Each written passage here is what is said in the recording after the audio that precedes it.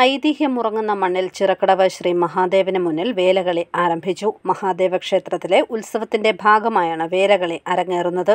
ഏഴാം ഉത്സവ ദിനമായ ചൊവ്വാഴ്ച മുതലാണ് വേലകളി തുടങ്ങിയത്. തെക്കും ഭാഗം മഹാദേവ വേലകളി സംഘത്തിന്റെ സന്ധ്യാവേലയാണ് ആദ്യ ദിനം അരങ്ങേറിയത്.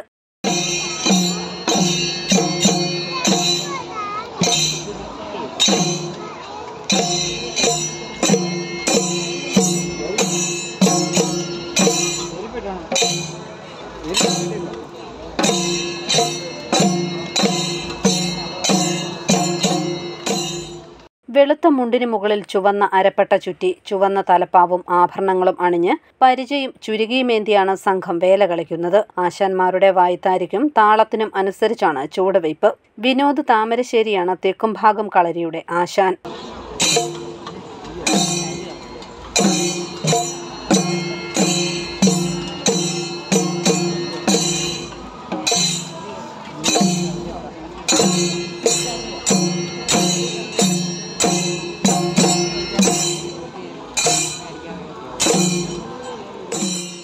ചിറക്കടവ് മഹാദേവന്റെ മണ്ണിൽ പന്തള രാജകുമാരനായ അയ്യപ്പൻ കളരി അഭ്യസിച്ചു എന്നാണ് ഐതിഹ്യം. ചിറക്കടവിൽ വേല കളിക്കുന്ന കുട്ടികൾക്കൊപ്പം മണികണ്ഠനും പങ്കെടുക്കുന്നുവെന്നാണ് വിശ്വാസം. പള്ളിവേട്ട ദിവസമായ വ്യാഴാഴ്ചയും ആറാട്ട് ദിനമായ വെള്ളിയാഴ്ചയും തെക്കും ഭാഗവും വടക്കും ഭാഗവും ചേർന്നുള്ള കൂടിവേല നടക്കും.